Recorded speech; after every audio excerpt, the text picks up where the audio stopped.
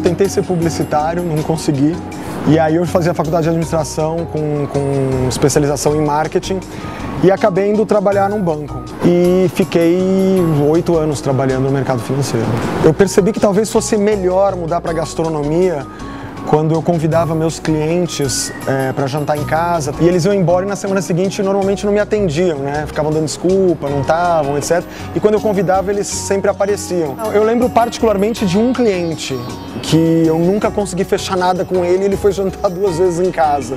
E hoje ele é um super cliente dos meus restaurantes. Então, a partir do momento que eu encontrei essa essência, que eu encontrei né, algo para oferecer para as pessoas e que elas queriam ouvir de mim, é, a coisa começou a dar certo. O próprio estado maior assim de, de, de felicidade, satisfação com, com, a minha carreira e com onde eu tô podendo chegar na minha carreira, é, isso acaba levando a ganhar dinheiro, mas acaba sendo um, uma consequência e não um, um, um, objetivo. Posso ter demorado um pouco para encontrar, foi uma decisão mais tardia.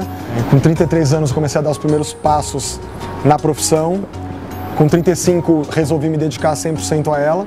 sem dúvida, eu sou tipo prova de que, de que uma paixão pode virar um negócio e, e, que esse inclusive é o melhor dos mundos. Quando você consegue trabalhar com, com algo que te, te dá tanto prazer, você não se sente trabalhando e você faz com vontade.